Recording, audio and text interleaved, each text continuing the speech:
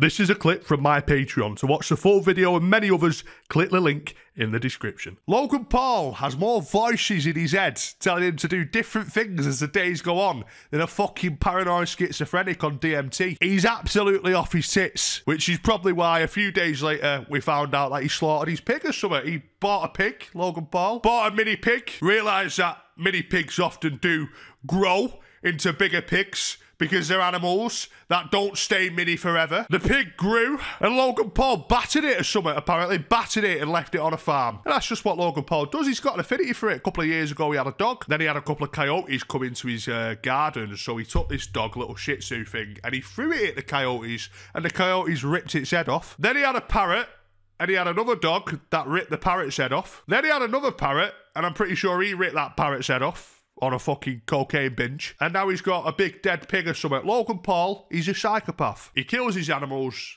and he scams his fans. But I tell you, it's far worse than Logan Paul. The fucking retards who saw a YouTuber peddling a crypto scheme and then thought, yeah, this is going to be a fucking good idea for me. Ah!